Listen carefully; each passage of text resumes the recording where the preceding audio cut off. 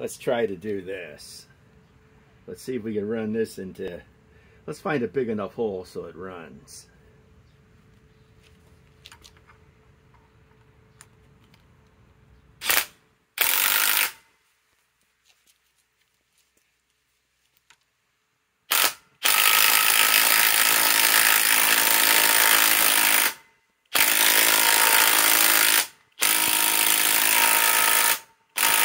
Nope, it won't do it. I didn't think it would. I didn't think it'd have enough power. For one thing, you're losing all kinds of power through all this. Imagine, they say this atomic DCF 921 can loosen 400 pounds and probably tighten, I'm guessing, two, 250. Well, you're probably losing 200 through this. So forget it.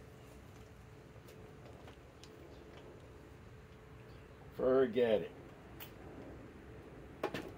Now, we're going to have to remove this. Uh, let's see, what is that? What is that?